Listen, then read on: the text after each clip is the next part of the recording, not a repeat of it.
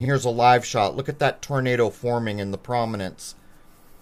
Here is another still. This is one uh, that people like to print. They print really large. This is uninverted sunspot in the hydrogen alpha wavelength. Here it is moving. Uh, this was, I don't know, a couple days after, I think, but I mean, look at it. Looks like living tissue, does it not? Uh, back in the day when we still had our spiritual vision, the sun was referred to as the powers. Here's another still that I over-processed on purpose to show the 3D nature of all the little threads. I generally don't process that much. And here is a black and white shot of what you saw earlier. Look at the tornado forming. And this is an incredible one that we're going to wrap up with. I'm going to hit the accelerator on this and increase the speed by twice. Then I'm going to do it one more time after that.